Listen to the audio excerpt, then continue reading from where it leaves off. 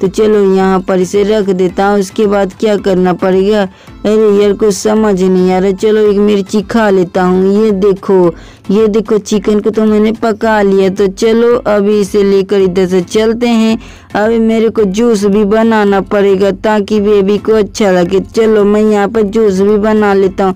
ये वाला ऑप्शन ठीक रहेगा। तो चलो, इसमें ये पूरे फल को डाला। ये देखो, जूस बन के निकल आया।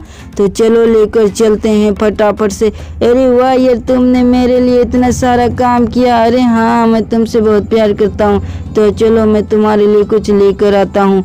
तो मैं एक काम करता हूँ, इस पेड़ के अंदर मैंने कुछ देखा था।